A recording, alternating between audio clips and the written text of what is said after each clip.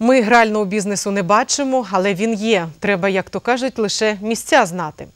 Активісти громадської організації Рух Вільна доля провели рейд залами, в яких вони знайшли гральні автомати.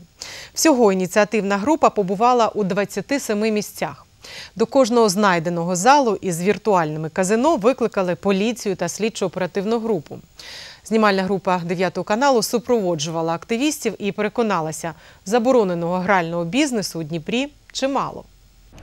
З 2009 року в Україні діє закон про заборону грального бізнесу. Станом на жовтень 2017-го лише в одному Дніпрі, за словами представників громадської організації Рух Вільна доля, попри закон працюють майже три сотні залів. Активістів така ситуація не влаштовує. Наши активисты «Руха Вильна доля» больше двух лет занимаются такими вещами.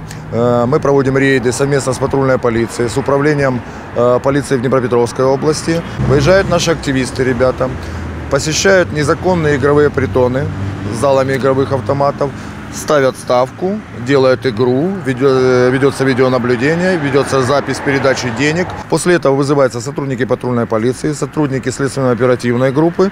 И дальше по закону, как это все проходит, так мы действуем. Всередині всі зали майже однакові: темрява, запах цигарок, відсутність нормальної вентиляції і ряди комп'ютерів, що вони маскуються під звичайні. Насправді ж вони приховують заборонене віртуальне казино. За таку гру законом передбачена адміністративна відповідальність, але це не спиняє любителів азарту. Один із відвідувачів залу продовжував спроби збагатитися навіть після візиту поліції. Вас не смущает, что эти залы незаконны? Смущает. Смущает. А вы видите, может, выход какой-то из ситуации сложившейся? Перестать играть, чтобы залом не было. Перестать играть всем, да? Однозначно. Сколько вы поставили сегодня? 50 гривен. 50 гривен. Вот 10 гривен выиграл. То есть 50 поставили, 10 выиграли. Итого у вас 60, да? Да. Ну, все вероятно, я все равно все проиграю.